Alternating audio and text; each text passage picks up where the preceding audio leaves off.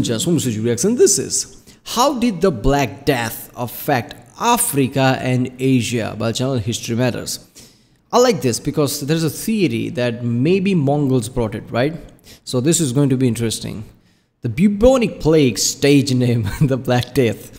Okay, th- there was a specific time when the bubonic plague became this deadly, and that was called the Black Death, I think. The early bubonic plague, Justinian's plague, right? That also killed one out of three. Holy shit, I mean, come on. This plague is so deadly that it kills one out of three every time. In the Justinian time, it also killed one out of three, and that fucked up the whole Justinian Empire, right? I mean, this is that devastating. People think, look, Byzantium during the Justinian time was so at, at its height, right? It was doing so well. He took over, he took over most of the Roman Empire again.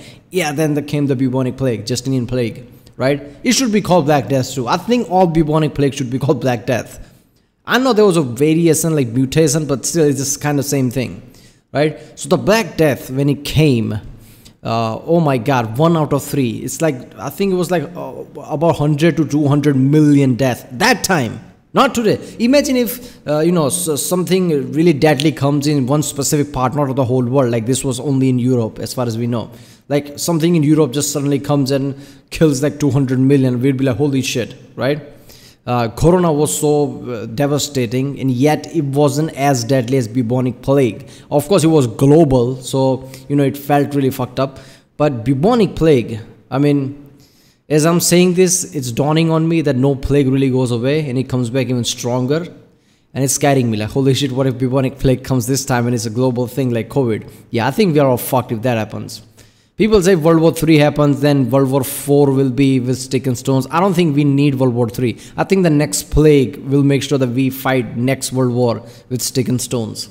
So yeah, how it affected Africa and Asia, I don't think it did much, right? Because that's how the economy was at that time, right? Spreading was not like that. But the theory that it came with Mongol, which I think is not right, but it's still a theory that Mongols brought it uh, I don't know how it's going to be, but let's watch it. History Matters is a great channel. I love how they explain complex topic in this small time. So yeah, let's watch it.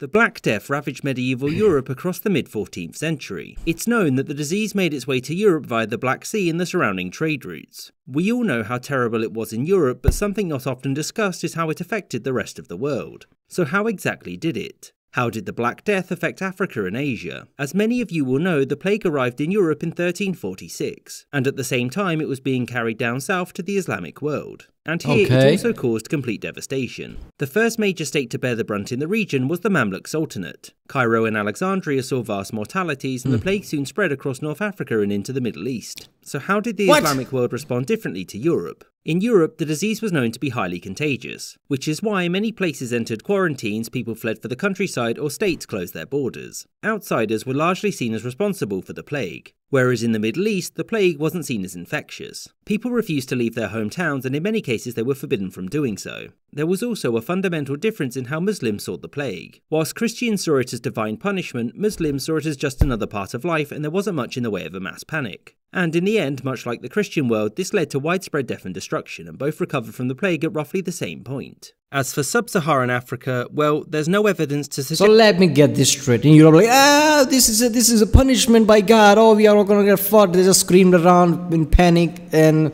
it did the same thing they did with the Muslim world. But in Muslim world, people just stood around like, oh, it's happening. What can you do? So result is the same, but one panic and one didn't. Is that what it is?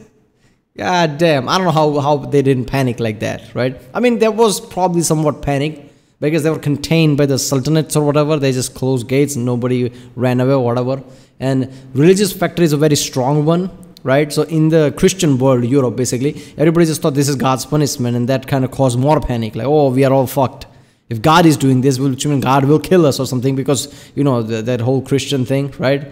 The sinners will die or whatever it is, right? Noah's Ark thing. So th- that could have been their mentality. Well, in so Muslim world, that wasn't the case. It's like, oh, this is happening. Nothing. It has nothing to do with God. This is one of the way of life. I guess that changes thing in a way. Just that the plague ever got there, which must have been nice. So, what about the world's two largest population centres, China and India? Yeah. China at this point was ruled by the Yuan dynasty, which was keen on keeping records. Its bureaucrats recorded any and all natural disasters and disease outbreaks, and so if the plague were there, it would have been known, right? Well, sort of. There were numerous outbreaks of disease across the mid 14th century in China, but it's not known if any of them were the plague. The reason being that these outbreaks weren't seen as anything special. Unlike in Europe and the Middle East, there was no mention of buboes or necrotic fingers or anything of the like, which is why these outbreaks could be smallpox or flu, since those Hmm. writing about it saw them as quite run of the mill. And in India, which at the So there are villages that is dying somewhat. Fuck him. So basically, there is no writing.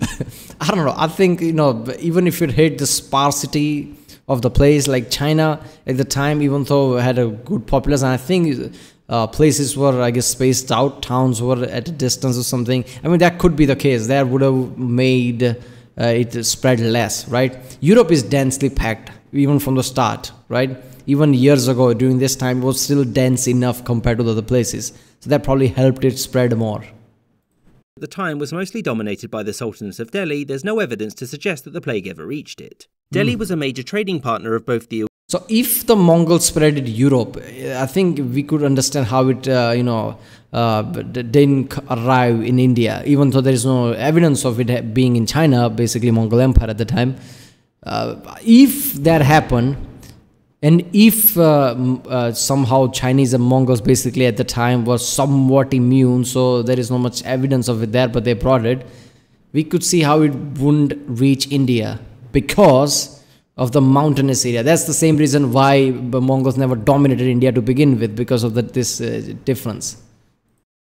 Khanate to the Mamluk Sultanate, and yet it didn't see the plague spread there. There were hmm. epidemics during the time, but like China, these weren't seen as special enough to warrant any further description, which leaves everybody completely in the dark about whether or not the plague reached the area. And there hmm. is some supporting evidence that these two regions didn't suffer the Black Death at the same time as Europe and the Middle East. And this is because in later centuries, when the bubonic plague did infect the regions, it was absolutely devastating in a way that it wasn't for Europe or the Middle East contemporarily. The people who lived in Europe and the Middle East had built up immunities over the centuries, in a way Ah. that those in India or China simply never could. Again, though, none of this is known for certain. No one can say with 100% surety where the Black Death didn't go, only that where it did go, it caused complete devastation. Yeah. I hope you enjoyed this episode, and a special thanks I mean, if it came to India, I guess there is not much of evidence about it, so it kind of makes sense. But yeah, there we go.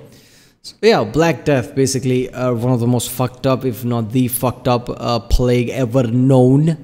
This is where the, that creepy mask thing comes from, right? I don't know what they did with, with the fucking nose thing, and they put something in the end of the nose because that somehow filtered out virus. Because I'm pretty sure that didn't work, but they were still doing that, right? I think the first time I saw that was in Assassin's Creed 2 as Ezio. I'm like, what the fuck? Why is the doctor wearing that? Why, why is this creepy shit? Then I researched it at that time.